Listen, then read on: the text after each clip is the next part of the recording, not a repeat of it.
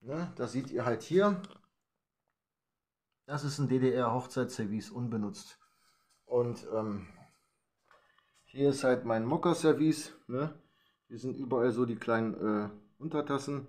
Und da ist halt, ähm, ja, die Tasse, da, die Tasse halt da hinten, da fehlt eine Untertasse. Aber, wer weiß, vielleicht findet man ja sowas ähm, auf den Flohmarkt mal oder bei der nächsten Haushaltsauflösung, wo irgendwas ent, entrümpelt wird, dann kann man ja immer mal wieder, ja,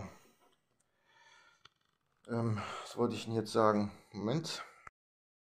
Das Schöne ist ja jetzt, ähm, also eine Waffe werde ich natürlich nie besitzen. Erstmal habe ich keine Waffenausbildung, zweitens mal habe ich auch keinen Waffenschein.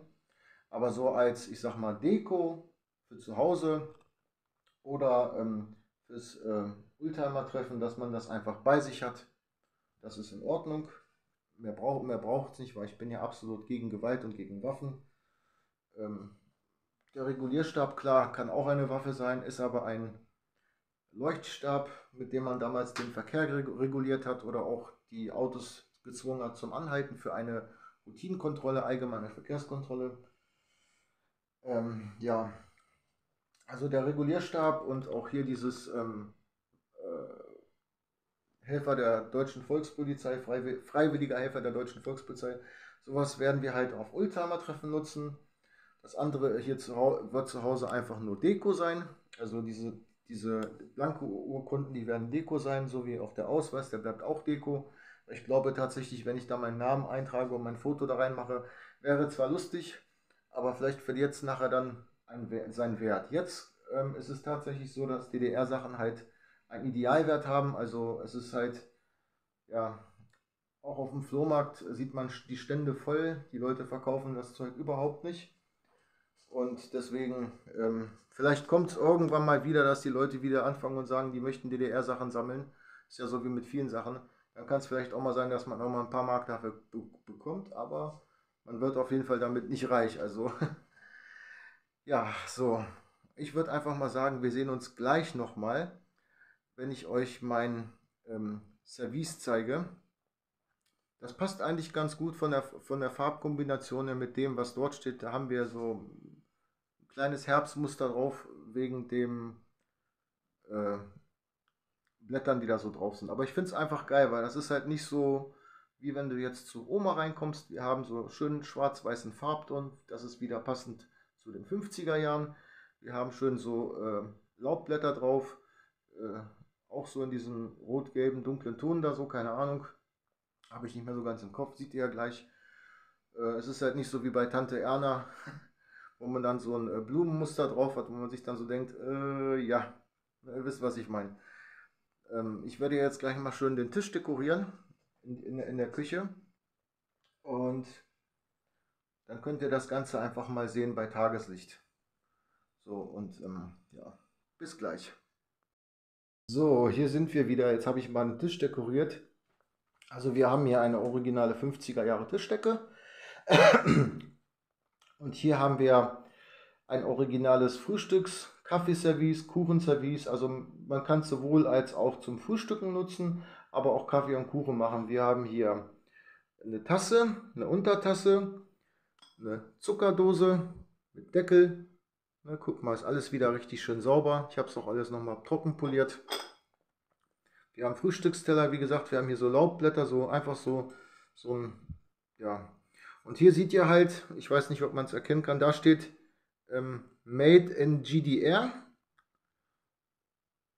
Handbemal Handmalerei, ja. Also das ist halt, ähm, das kommt aus, ähm, das ist hier Weimar. Ist der Stempel. War, war früher mal verdammt teuer, also auch nicht für jeden erschwinglich. Und das alles steht halt auf ähm, den anderen Tellertassen auch drauf. Ja, hier haben wir unsere Kaffeekanne. Das heißt, ähm, hier hat man den frisch gebrühten Kaffee reingemacht. Da können wir auch mal reingucken. Ne, also es ist, nein, wenn ihr das, wenn ihr euch jetzt fragt, nein, es ist kein Dreck, das ist halt beim Film, je nachdem wie der Schatten so schimmert, aber ihr könnt sehen, das Ding ist richtig schön sauber, richtig gut erhalten. Der Deckel auch, also der ist nicht gebrochen oder sowas, auch vorne die, Die Nase ist noch dran, ja, so, zack. Und dann haben wir hier den schönen Griff dann. Die hat halt ähm, ganz minimal, aber ansonsten, ne? Das war bestimmt mal für sechs Personen. Vielleicht finden wir ja noch die sechste Tasse. Ansonsten reicht das auch. Ja, und hier haben wir halt noch ein Milchkännchen. Auch richtig schön sauber, auch von dem gleichen. Ähm, und ich finde, das ist halt so für mich, schwarz-weiß ist klar, sagt ja, sagt ja schon, sagen, sagt ja schon viel über die 50er, 60er Jahre aus. Für mich ist das so ein Jugendstil ähm, Geschirr. Warum Jugendstil? Es ist äh, nicht so, wie man das jetzt so kennt, wenn man zu seiner Oma nach Hause gekommen ist, dass die Tassen dann so, ich sag mal, cremefarben waren, so mit Blumenmuster, also halt so dieses, wo man dann so denkt, so Oma-Tasse halt, wenn man, wenn man, wisst, ihr wisst, was ich meine. Das finde ich mehr so schön, passen gut zur Einrichtung. Ähm, ich hatte tatsächlich, das kann man da hinten ganz gut sehen, äh, diese beiden Bretter, ach, die da hinten sind, das waren meine Frühstücksbretter, weil ich bin ja hier zu Hause allein. Und dann habe ich euch ja gezeigt in meinem Video, dass ich auch noch für sechs Personen so ein ähm, ja, Service habe für sechs Personen, so Elfenbeinfarben, Cremefarben mit Goldrand. Das wollte ich aber so, wie man das früher gemacht hat, für bestimmte Anlässe benutzen. Und dieses äh, Besteck, Geschirr hier, das wollen wir im Alltag äh, dann daily nutzen. Also wenn meine Schwester kommt, meine Mutter kommt oder wenn einer mal von euch Lust hat, äh, mich mal besuchen zu kommen, können wir gerne hier am Tisch zusammen frühstücken oder auch im Wohnzimmer frühstücken zusammen. Bei mir ist, sind die Sachen alle aus erster Hand, sind Familienerbstücke. Dieses Service zum Beispiel ist auch ein aus dem Familienbesitz. Man siehe und staune, ne, was, was man alles so auf dem Boden findet, auf dem Speicher. Und ähm, ja, es war kein gewöhnlicher Speicher, es ist sehr, sehr gut eingelagert worden.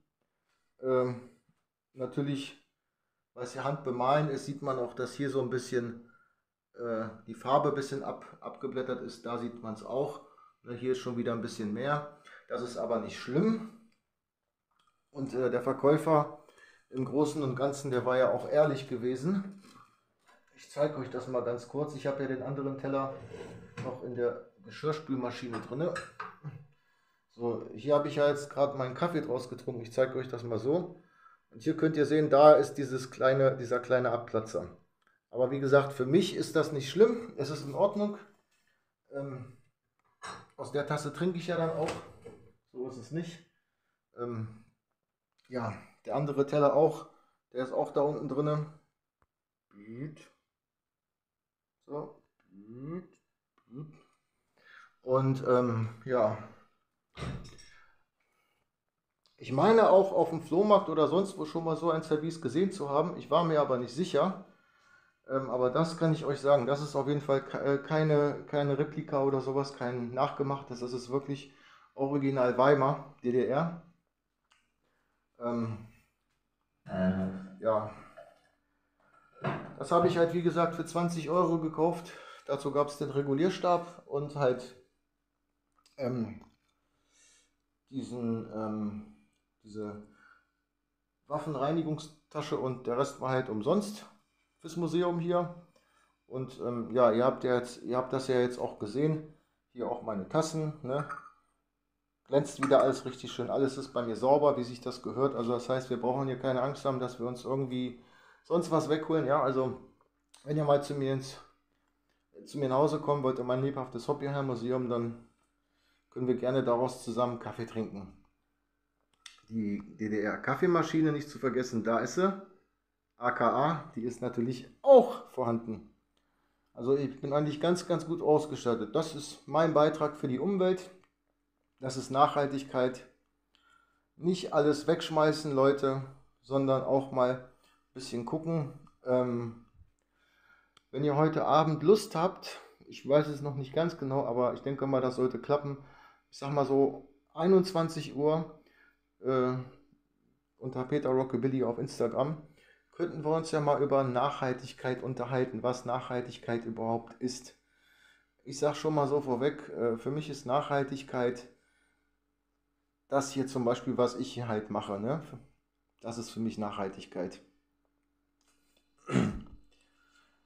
Es wäre ja wirklich mal so richtig interessant mal zu wissen, wie viel es tatsächlich noch in Deutschland auf den Dach, also so auf Dachboden und Speicher, wie viele Sachen es noch gibt, die man für kleines Geld bekommen kann, wo sich andere Leute dran satt gesehen haben, aber wieder die andere Generation dran Freude hat. Und das, liebe Leute, das sieht doch wohl richtig, richtig tot schick aus. Also ich finde, das passt auch super zur Einrichtung hier. Und ähm, ja. Also, liken, abonnieren nicht vergessen. Ich hoffe, das Video hat euch gefallen. Euer Peter Rocke, Billy. Tschüss.